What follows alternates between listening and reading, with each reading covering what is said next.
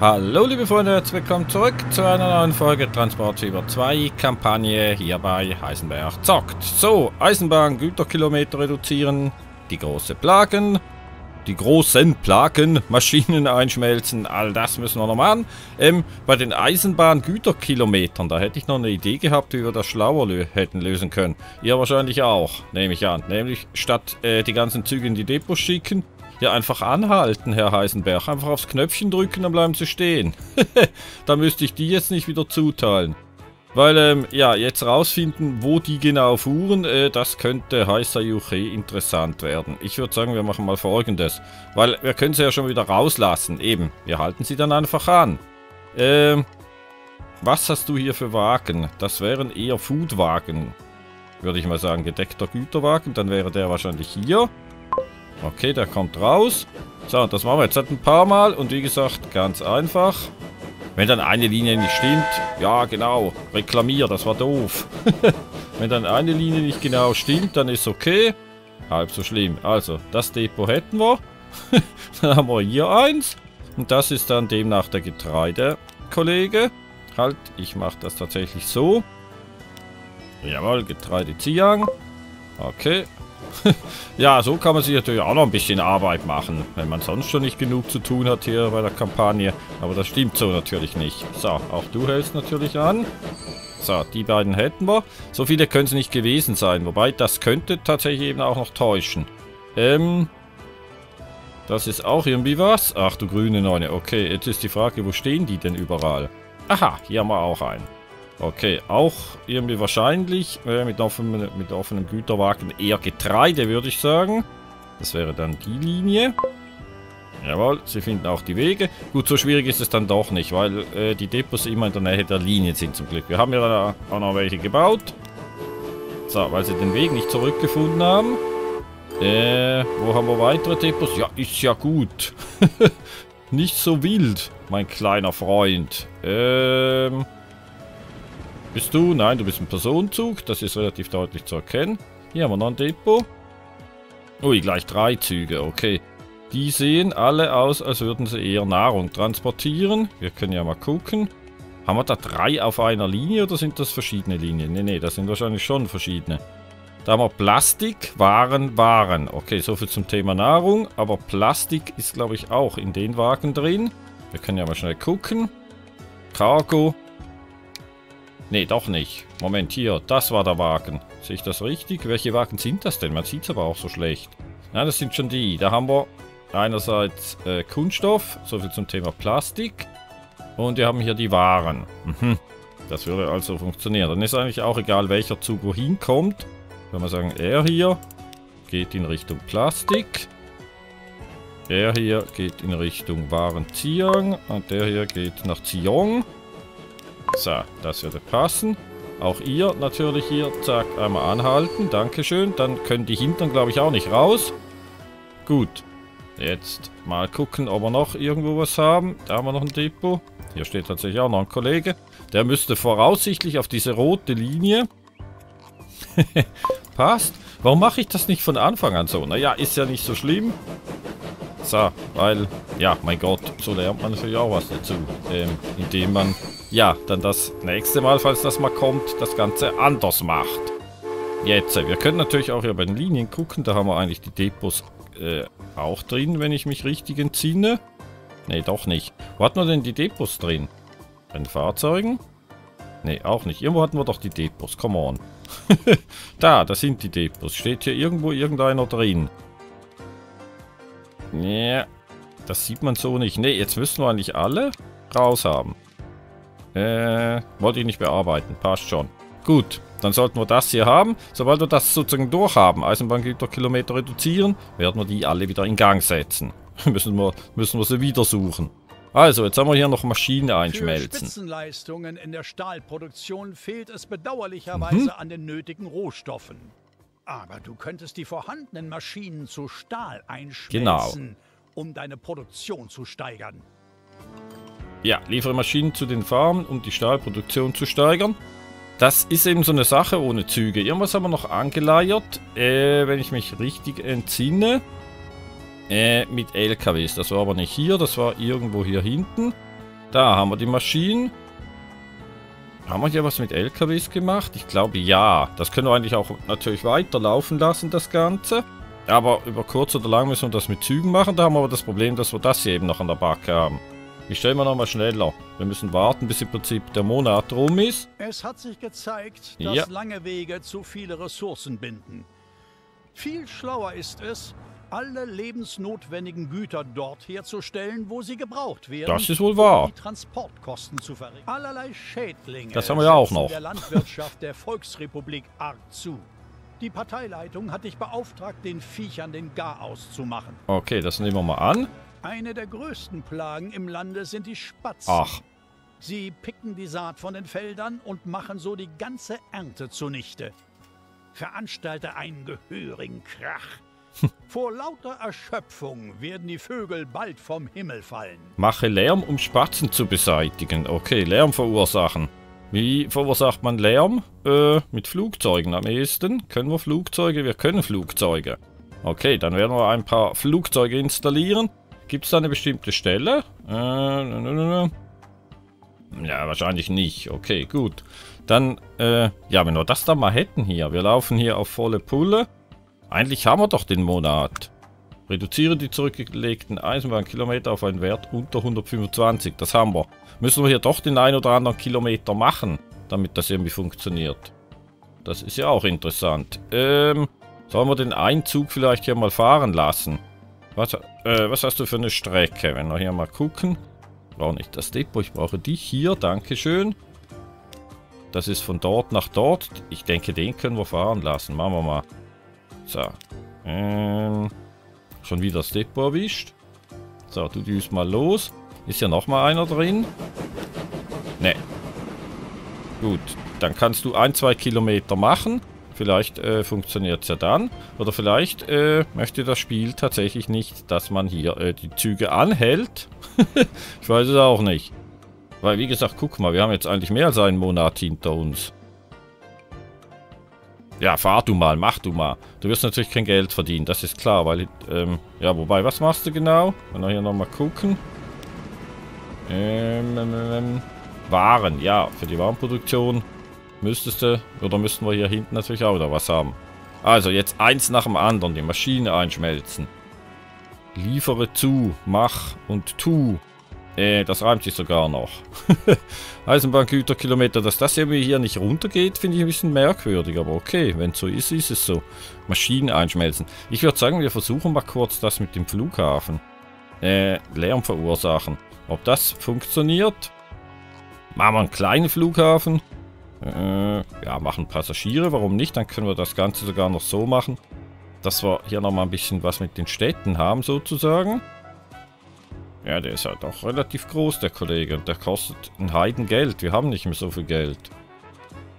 Macht der hier hinten Sinn? Nein. Wenn, dann müsste er irgendwo hier sein. Wow, aber zwei so Flughäfen, dann sind wir dann bald äh, pleite. Ich mach mal einen hier hin. Äh, getrennten. Mit einer Piste. Ach, das wäre ja der günstigere gewesen. Okay. Ja, naja, dann haben wir da hinten halt einen großen. Ist ja auch okay. Äh, und dann gibt es hier für Kwangdong Dingens. Hier. Auch nochmal so ein Teil. Linie. Zack. Bin mal gespannt, ob das funktioniert. Ist das der Krach, den Sie wünschen? Machen wir hier mal Krach. Krach Airline. so. Flugzeug kaufen. Mal eins und gucken, ob das überhaupt funktioniert. Hier haben wir ja die Emissionen doch auch noch. 88, 86, 90. Okay, der ist am lautesten. Also kaufen wir den. Jetzt bin ich gespannt. Ah, guck mal. Zwei von drei haben wir schon. Das sind nur allein die Flughäfen. Also wir müssten hier tatsächlich nicht mal Flugzeuge raufsetzen, so wie es aussieht, sondern das sind tatsächlich auch die Flughäfen, die wir hier bauen müssen.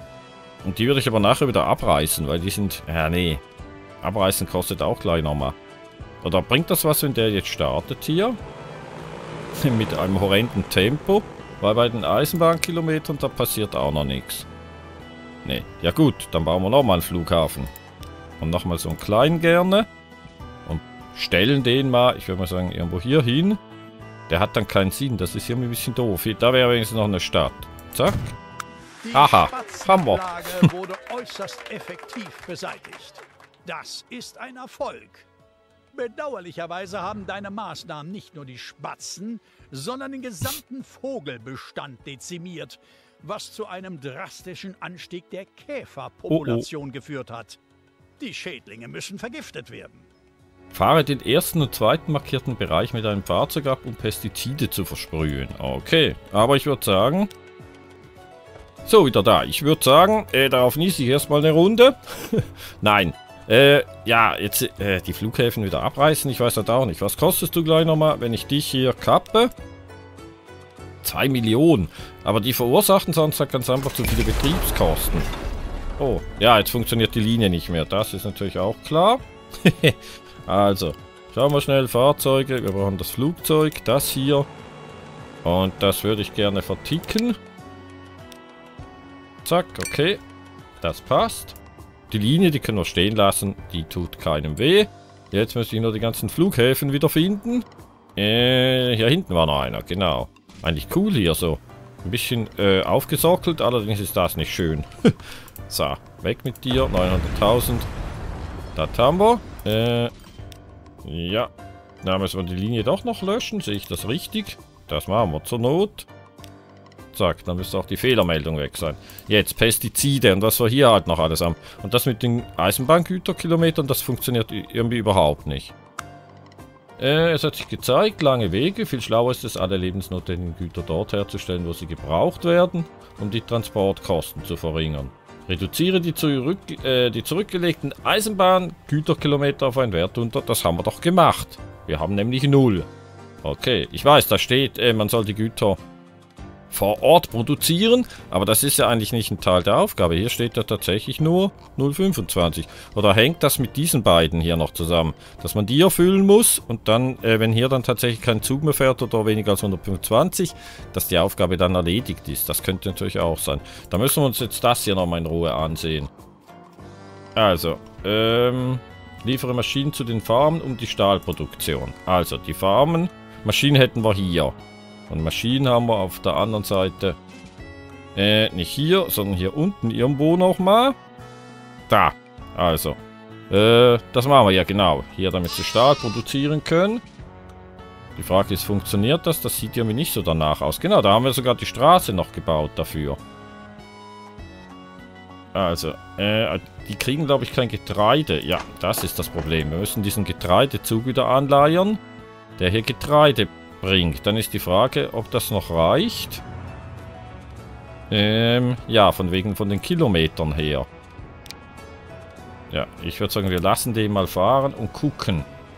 So, mach du mal. Weil ohne Getreide werden wir hier diese andere Aufgabe nicht hinkriegen. Und sonst müssen wir tatsächlich nochmal LKWs installieren. Das ist auch klar. Gut. Gebiete abfahren. Das verschieben wir mal noch ein Momentchen. Weil Stahl abholen haben wir auch noch. Stelle mindestens eine Farm auf Stahlproduktion um und hole 50 Stahl von dort ab. Das haben wir eigentlich auch gemacht. Äh, wo ist ein Bauernhof, der Stahl produziert? War das das Teil hier? Ich glaube ja. Ja, ja, das sieht ja aus im Bauernhof. Die produzieren Stahl.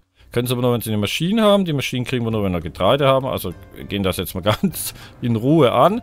Und nachher müsste halt tatsächlich dieser Stahl hier ähm, ja, nachher hinten. Das haben wir ja rausgefunden. Das hier ist eigentlich der einzige Stahlabnehmer. Welcher war's? Der hier. Ja, das machen wir vielleicht dann doch auch am besten wieder mit einem Zug. Und da haben wir wieder das Problem, dass das hier natürlich äh, entsprechend nicht so wirklich ideal ist. Aber halt eine Straße bauen, damit wir eine Abkürzung haben.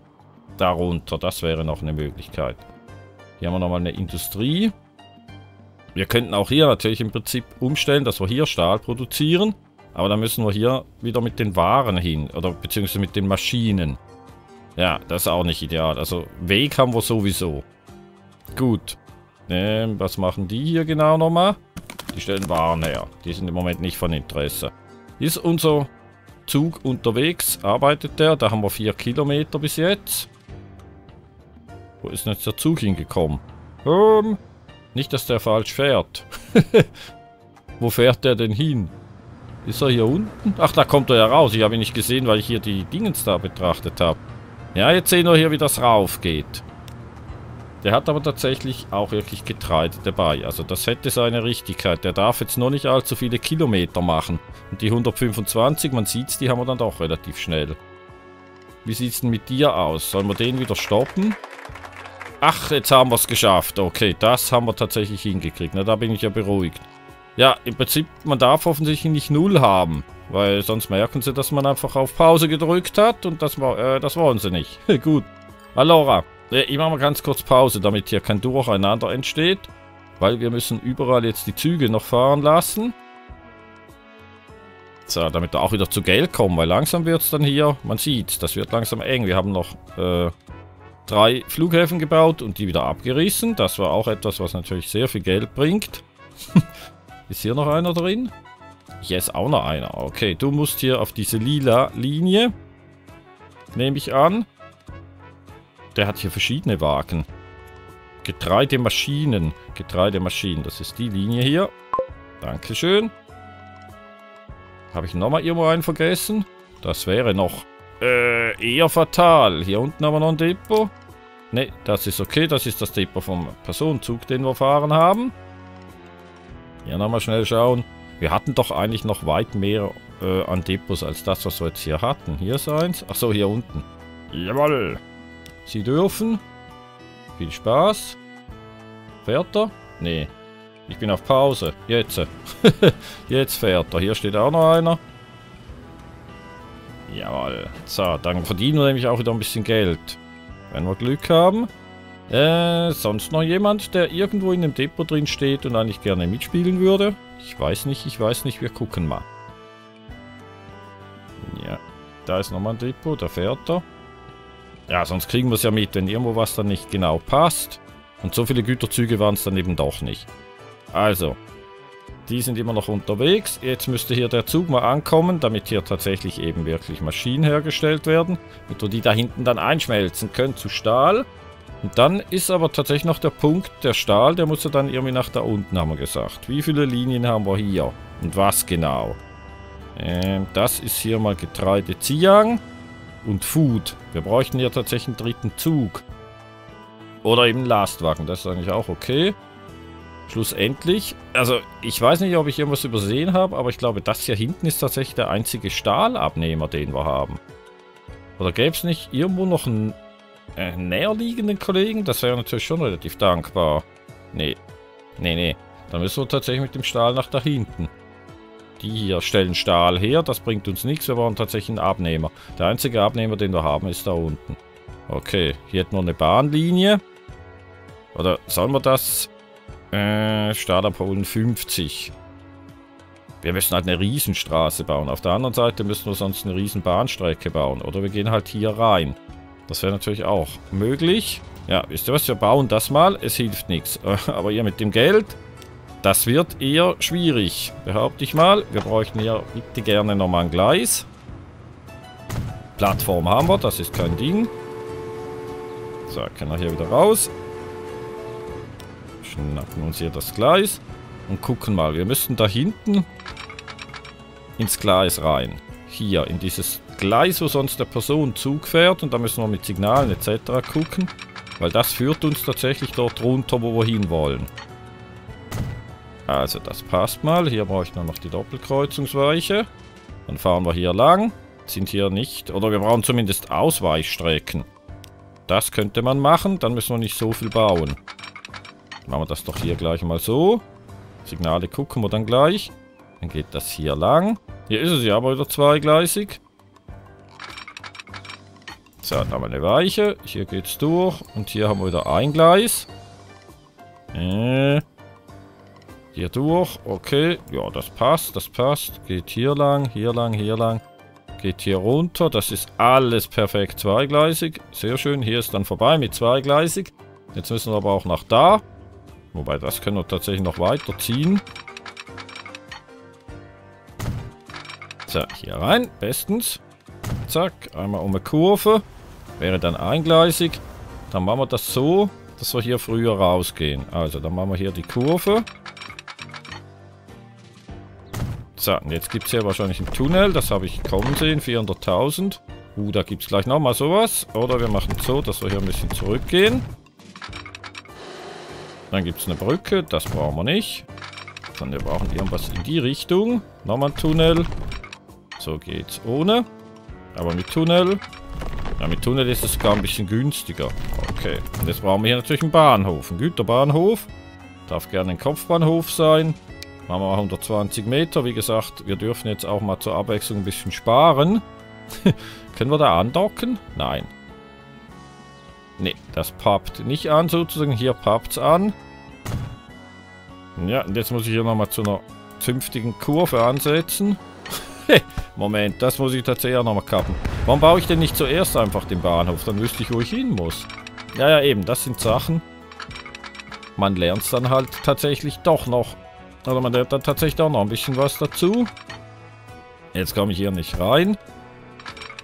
Das nächste Problem. Nee. Boah, echt jetzt? Das geht überhaupt nicht. Boah, ich kapp den Bahnhof nochmal. Das werden wir anders machen. Stellen den halt chrom hin. Ja, vorher habe ich gerade noch gesagt, wir müssen ein bisschen aufs Geld achten. Jetzt baut er wieder fünf Bahnhöfe. so, da haben wir nämlich die Fabrik auch. Und das müsste doch ungefähr von der Höhe her eher passen. Ich hoffe es zumindest. Denkst du? Echt jetzt? So, Moment. Hier ganz rauf. Das nochmal kappen. Und hier irgendwie runter. Wäre dann so. Ja, jetzt funktioniert es bestens. Dann hätten wir das hier. Das müssen wir hier abliefern. Das ist okay. Dann kommen wir zum Thema Signale. Das ist mal eingleisig. Deswegen machen wir das hier mit einem Signal. Und machen, das ist ja auch eingleisig, auch hier ein Signal. Dann ist es hier eh zweigleisig. Mal bis hier hin. Warum nicht hier vielleicht sogar sogar noch ein, Bl ein Block in der Mitte, schön verrutscht. Halb so schlimm. Da haben wir auch eine Weiche. Signal. Zack, hier. Dann haben wir hier genug Platz, dass wir einen Block hinstellen können. Hier nochmal ein Block. Ja, und dann sogar hier nochmal ein Block. Und hier haben wir keine Weiche. Die brauchen wir in dem Sinne auch nicht. Aber dann machen wir... Ja. Hier nochmal ein Block. Dann geht das hier hinten raus. Und hier wird es wieder eingleisig. Okay. Zack. Und hier hinten wird es wieder zweigleisig. das ist eine ewig lange Strecke, stelle ich gerade fest. Ach, und da müssen wir dann raus. Ja, kann man machen. Jetzt hätte ich aber hier noch gern ein Signal. Und dort hätte ich gern auf der Seite noch eins. Und hier brauchen wir sicherlich hier noch eins. Damit der Zug da nicht die ganze Zeit warten muss. Das hätten wir gebaut. Neue Linie von hier. Dankeschön. Einmal quer rüber nach hier unten. In diesen Bahnhof rein. Und das passt. Und das ist dann, ja, Stahl.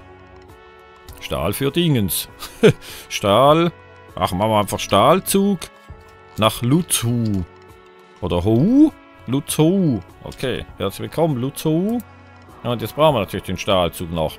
Und jetzt noch ein Depot haben hier. Äh, was wir nicht haben. Haben wir irgendwo eins? Also irgendwo haben wir sicher eins. Die Frage ist wo. Da. Da kommen wir eigentlich auch auf die Strecke. Gut. Dann bauen wir das mal. Beziehungsweise wir bauen es nicht, wir kaufen es. Und da sparen wir jetzt ein bisschen. Wir haben noch 24 Millionen. Weil damit müssen wir ja einfach hier diese Aufgabe lösen.